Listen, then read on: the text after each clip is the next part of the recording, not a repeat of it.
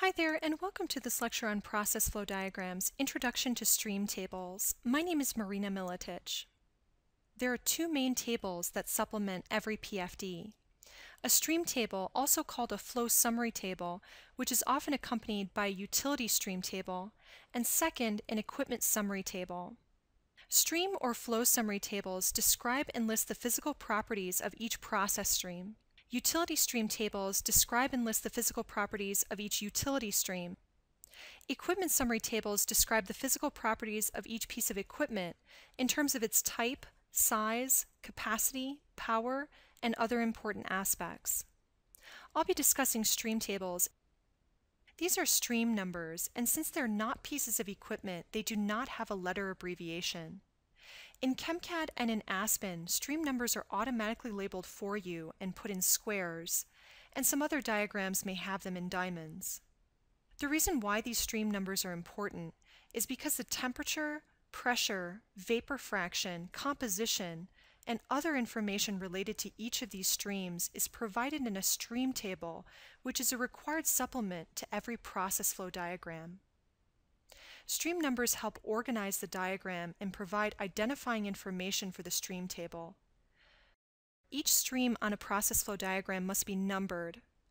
All chemical simulation packages, including ChemCAD and Aspen, keeps track of the physical properties of each of these streams, including flow rate, temperature, pressure, composition, and other information in a stream table this table is a required element for every process flow diagram since it quantitatively describes how the physical properties and composition is changing as we move through the process. You might have noticed that streams are numbered based on the path of the process from starting materials to products.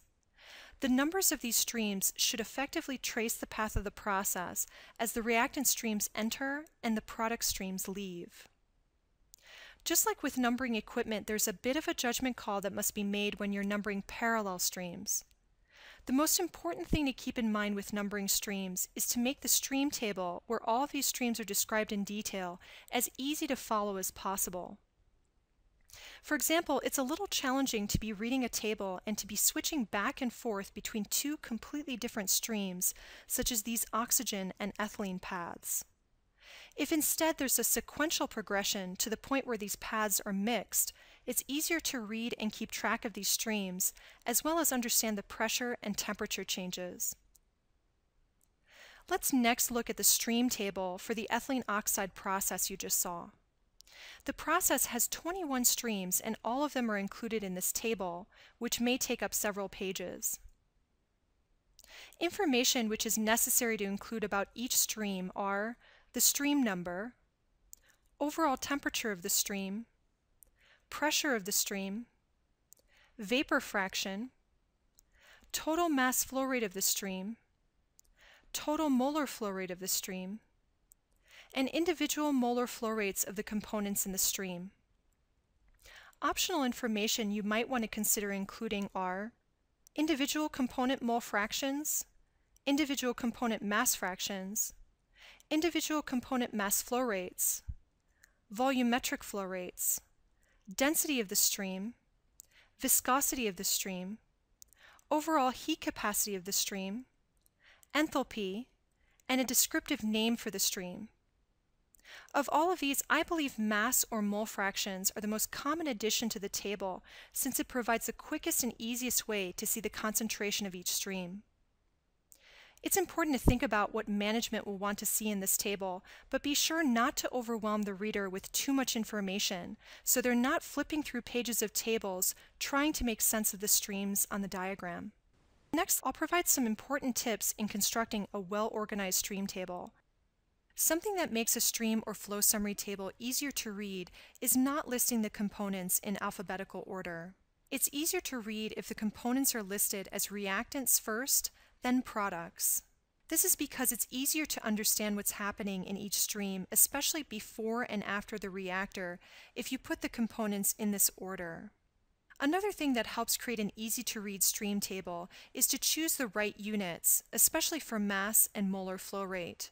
I've noticed that using metric tons per hour, US tons per hour, or kilomoles per hour for most large chemical processes is a good way of making sure you have numbers that are around 1 to 4 digits. You want to avoid numbers that are in the tens of thousands or larger. This crowds a table and makes it very difficult to read. And if you do have to present numbers in the thousands range, be sure to use commas to help make them easier to read. Also, try to avoid having a table which is filled with numbers all in scientific notation. Remember that these guidelines are much easier to follow if you just choose units which result in smaller numbers. In addition, frequently I've found when people present large numbers, they like to provide five or more significant figures. For both clarity and accuracy, you want to avoid doing this. Even though ChemCAD or Aspen will technically provide you with 12 significant digits for every number, it doesn't mean you should expect your process to function at that level of precision. It's very misleading to claim that you know your flow rates, temperatures, and concentrations out to five significant figures, and that you expect to control them at those same values continuously as the process is running. I know that I have five significant figures displayed for these numbers. I added a point zero to these flow rates to make them easier to read, not because they have five significant figures. This was a compromise I made between removing zeros and making the table more consistent looking. Remember that not having more than around four significant figures shown is a guideline, and you will not always be able to follow that guideline 100% of the time in all cases. Another tip for creating an easy-to-read table is to make sure you right justify all numbers. This means that you should line up all numbers to the right side, which in this case aligns all of the decimal points. Right aligning these numbers makes them much easier to read than if they were centered or left aligned. Also, if you can align all or most of your decimal points in each column, this can really help enhance the readability of the table. Next, let's briefly talk about labeling. Since this is a table, it almost goes without saying that it must be numbered and accompanied with a table caption. Refer the reader to the main diagram from where the stream numbers came. Regarding layout, it's okay to have a table that wraps around on the same page, but be careful with labeling.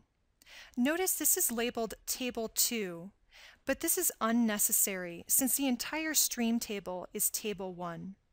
So this wraparound table should remain unlabeled like this. If the table wraps around to the next page, however, you should include a table label, which denotes this as Table 1 Continued. This is not a different or separate table, it's just a continuation of the previous one, which is why it's not labeled Table 2. Something to keep in mind is that this may look a lot like the stream table that ChemCAD or Aspen creates for you. These programs are notorious for giving numbers such as 9.9 times 10 to the minus 8, when in fact the number is basically zero. I suggest that you transfer these ChemCAD or Aspen stream table numbers into Excel and format them so that they display the correct number of significant figures and are easy to read. Don't underestimate the amount of time it will take to properly format a table like this, because it almost always takes longer than most people think. So never ever leave this for the last minute.